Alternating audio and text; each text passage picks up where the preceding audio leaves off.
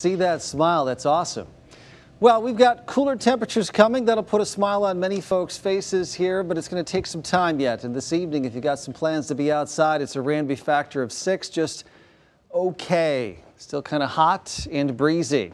Nice look at Papillion. Camera here at the Shadow Lake Town Center at the Cobalt Credit Union. 90, dew point 65, strong southeast wind, 26 miles an hour. A few spots in the upper 80s south of the metro now. Plattsmouth, Shenandoah, Maryville, 87, 88 degrees, 92 in Lincoln.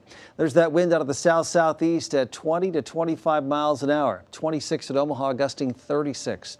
Gusting to 38 in Lincoln, 31 in Beatrice. That is very, very strong. If you're driving down the interstate, you can probably feel that.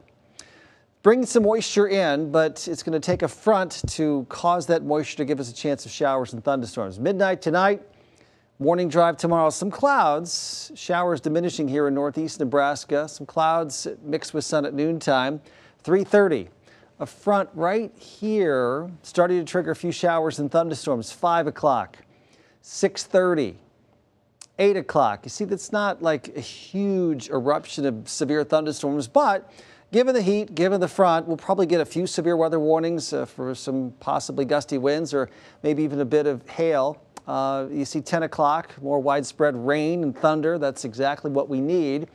And uh, out of the area as we head after midnight tomorrow night. Well, right now the radar is quiet. The skies are mostly sunny, clear here. The disturbance we're watching is up here in uh, the western Dakotas. There's a severe thunderstorm watch there for parts of North Dakota and western Minnesota. That's the front that will track eastward, but very slowly. So the thunderstorms along the front track northeast tonight won't get into our viewing area. Tomorrow morning, front gets a little closer. Tomorrow afternoon, right at peak heating is when we're looking for showers and thunderstorms to pop up and then drift east-southeastward with time. Tomorrow night, still some showers to the south. And then a little wave of low pressure on the front causes another rain chance into the area, at least for part of Friday. And uh, that front will start to move back north again on Saturday with the continued chance of some rain and thunderstorms. That's fantastic. We need the moisture.